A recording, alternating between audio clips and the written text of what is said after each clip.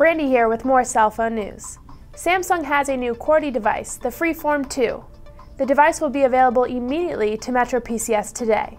We do not know very much about the Freeform except the fact that it has a 2.2 inch QVGA display, a full QWERTY keyboard, a micro USB slot, and a 1.4 megapixel camera.